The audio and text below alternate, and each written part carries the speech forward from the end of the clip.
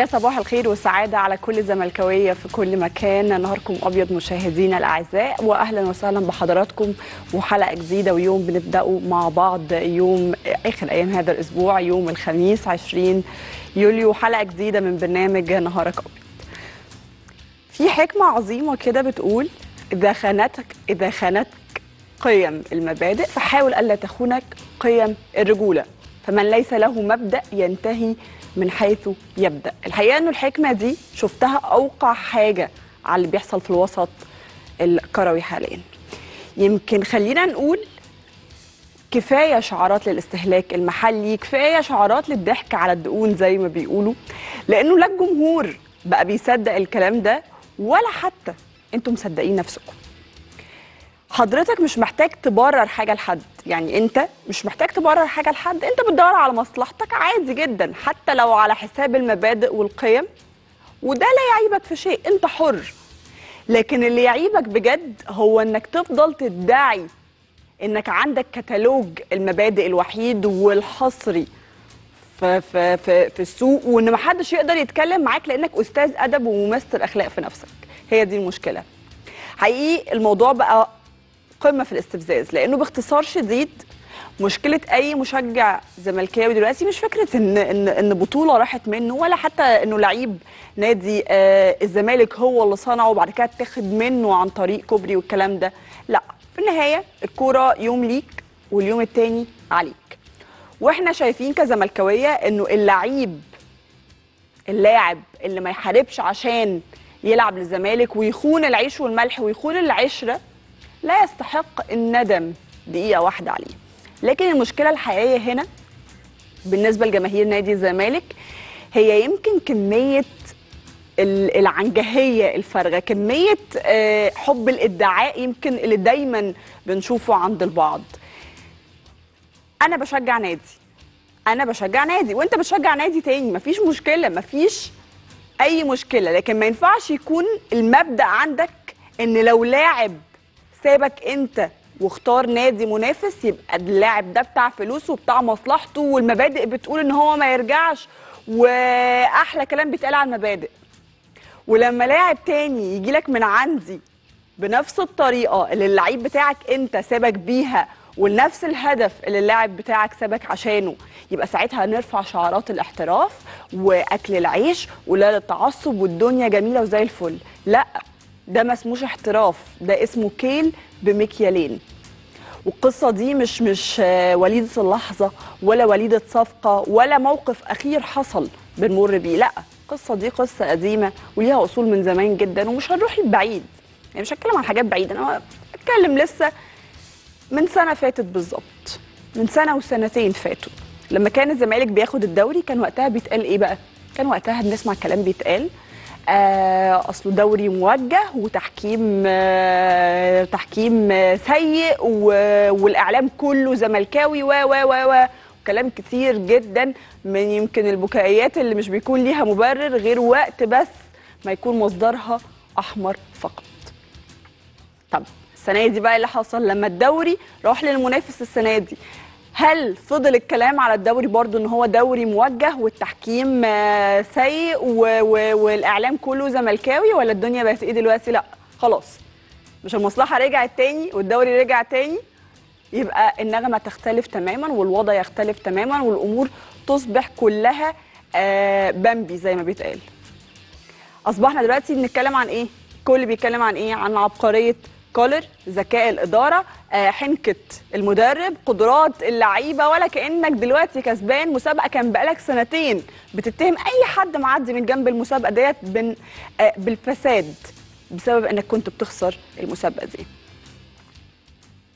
ده فيما يخص المنافس.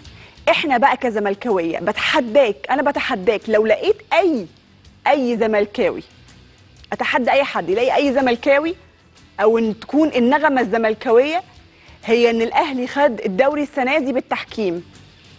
مش هتلاقي النغمة دي موجودة عند الزملكاوية. مش هتلاقي نغمة آه أصل درع الدوري موجه للجزيرة عن عمد عشان الزمالك بقاله سنتين بيفوز بيه. مش هتلاقي النغمة دي عندنا. عارف ليه؟ لأن جمهور الزمالك جمهور متصالح مع نفسه. جمهور عارف كويس قوي حجم المشاكل اللي موجودة عندنا مدركين كويس قوي إنه كان صعب كان صعب وغير منطقي إن اللي يحصل سنتين ورا بعض ويستحيل إن هو كان يحصل إنه يستمر ثلاث سنين المستحيل كان يست... يعني كان صعب إن هو يستمر لمدة ثلاث سنين لأنه الفريق عندنا عنده مشاكل كبيرة مشاكل فنية داخل الملعب ومشاكل عندنا كمان بره الملعب فخسارة اللقب كان الموسم ده أمر منطقي جدا. لصالح بقى إيه لصالح منافس مستعد جاهز مركز في الملعب وبس كل الأجواء مهيئة ليه للفوز. فهتلاقي إن كل الزملكاوية حقيقي مدركين إنه كان صعب إن إحنا نفوز السنة دي بالدوري ومش هتلاقي ابدا زملكاوي بيرمي آه، يمكن الأخطاء على أي شماعة تانية أو بير أو بيعلق مشاكلنا على شماعات باختصار شديد جدا الصراحة مع النفس بتكون مطلوبة. عشان تعرف تحترمني وأنا أعرف كمان أحترمك لأنه مش عيب اطلاقا إنك تقول أنا بتاع مصلحتي. إنك تطلع تقول أنا نادي بتاع مصلحتي أو أنا لاعب بتاع مصلحتي وبدور على مصلحتي ده مش عيب. لكن العيب واللي بيخلي شكلك وحش قوي إنك تضحك على نفسك وعلينا كلنا تحت شعارات أفلاطونية مستفزة مش موجودة غير في خيال اللي بيرددها وبس هو ده حقيقي اللي بيكون عيب. طيب خلينا في الزمالك وفي اللي جاي الفترة الجاية واللي محتاجين نركز فيه جدا وهي البطولة العربية اللي خلاص فاضل عليها بالظبط أسبوع سبع أيام بالظبط وهينطلق حدث كروي إعلامي وجماهيري وتسويقي وتنافسي حدث ضخم جدا. هيتابعه قرابة 450 مليون مواطن عربي وهيكون فيه اهتمام وشغف كبير جدا بالحدث ده وهي البطولة العربية اللي بتضم كبار أندية الوطن العربي طبعا اللي بيشاركوا فيها. طيب بالنسبة آه، للبطولة العربية هيكون طبعا من آه، السعودية الشقيقة. البلد المستضيف للبطولة هيكون متواجد في البطولة أربع أندية آه، الهلال النصر الشباب واتحاد جدة طبعا بطل الدوري الموسم الماضي ده.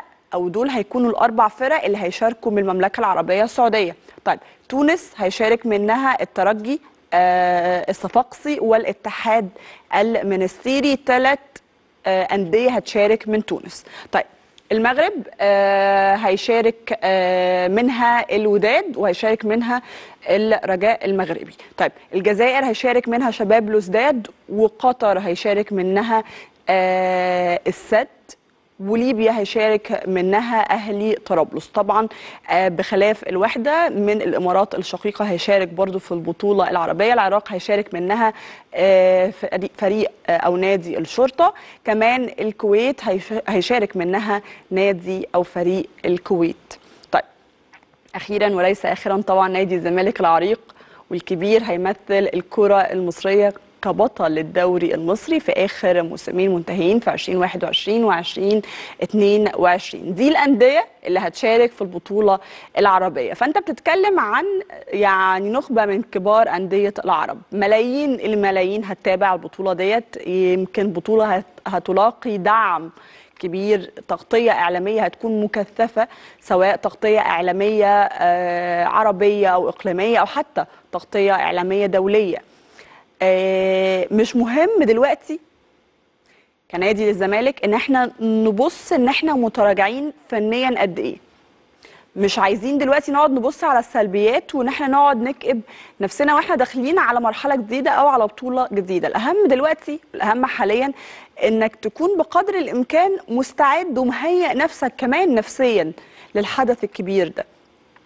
كل لاعب رايح يشارك في البطولة دي لازم يكون مدرك مدرك نفسيا هو رايح فين وهيلاعب مين وبيمثل قبل كل حاجة بيمثل مين.